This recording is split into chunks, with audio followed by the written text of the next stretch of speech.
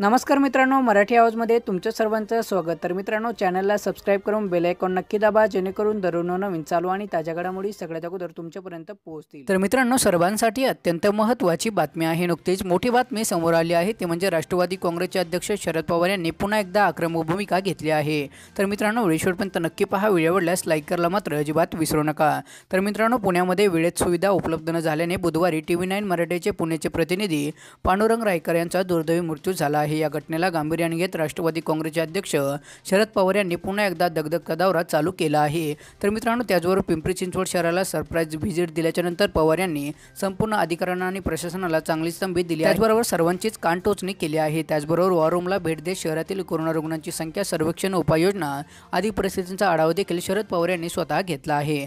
त्याचबरोबर विशेष म्हणजे पिंपरी चिंचवडमधील जम्बो कोविड सेंटरमध्ये नेमकं काय उपचार दिले जात आहे हा देखील महत्त्वाचा प्रश्न असल्याचं शरद पवार यांनी म्हटलं आहे. तुम्ही पाहताय पुण्यामधील माध्यम प्रतिनिधीचा मृत्यू झाला हे अत्यंत अपमानास्पद असल्याचं शरद पवार यांनी म्हणत आपल्या अधिकाऱ्यांना तंबी दिली आहे. त्याचबरोबर कोणत्याही परिस्थितीमध्ये पूर्णपणे मृत्यूदर कमी झालाच पाहिजे. प्रकारच्या सूचना देखील अधिकाऱ्यांना आणि डॉक्टरांना शरद पवार यांनी दिल्या आहे त्याचबरोबर जम्बो रुग्णालयामध्ये डॉक्टर रुग्णवाहिकेचे नियोजन अतिशय व्यवस्थितपणे झालंच पाहिजे. पुण्यामध्ये पत्रकाराचा झालेला मृत्यू हा अत्यंत दुर्दैवाचा आहे. कोणाचाही असा मृत्यू होता कामा नये.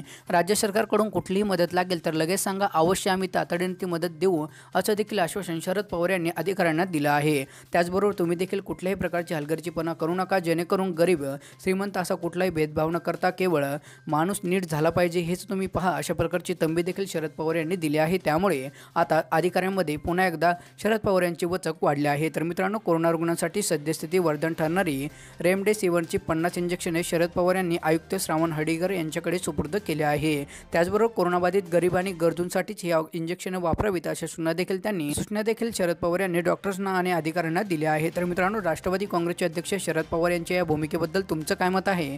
ते खाली कमेंट करायला मात्र अजिबात विसरू नका.